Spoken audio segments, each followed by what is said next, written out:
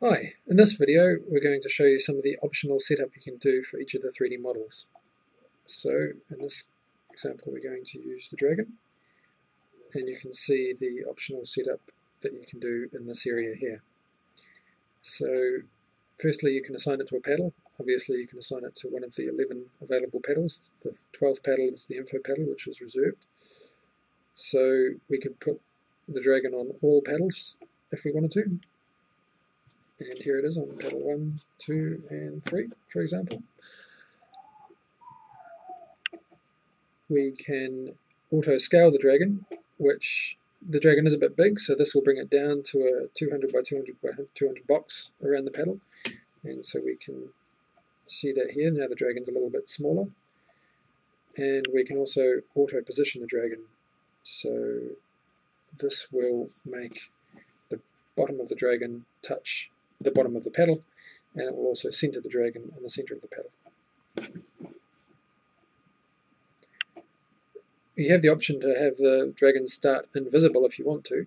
Uh, obviously you won't be able to see it, um, but then you can apply rules to it later on that make it visible.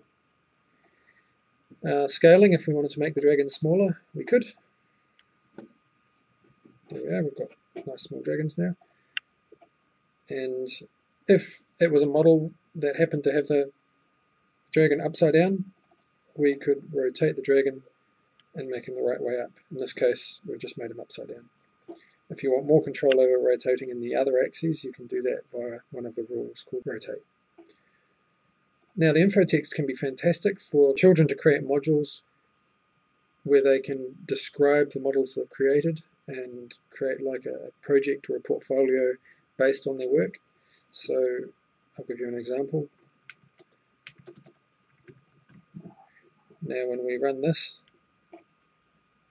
we can use the information paddle and we can see it's telling us this is a dragon.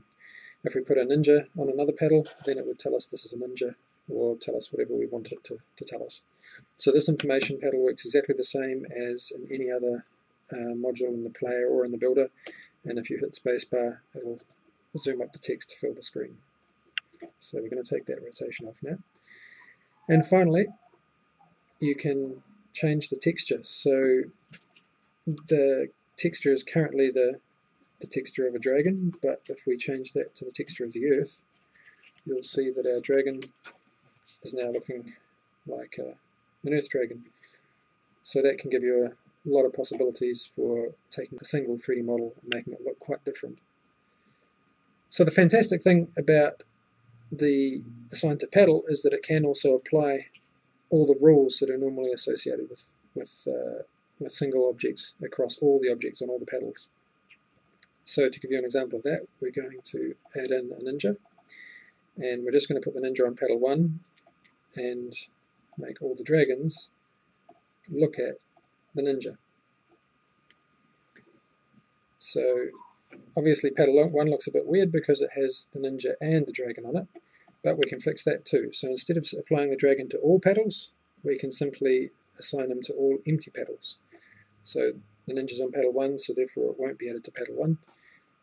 It'll be added to paddle 2, paddle 3, and paddle 4 for example.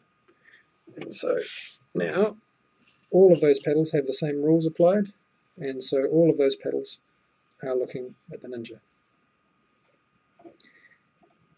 This really looks fantastic in VR mode, where you can drag the Ninja around and all the dragons keep looking at him.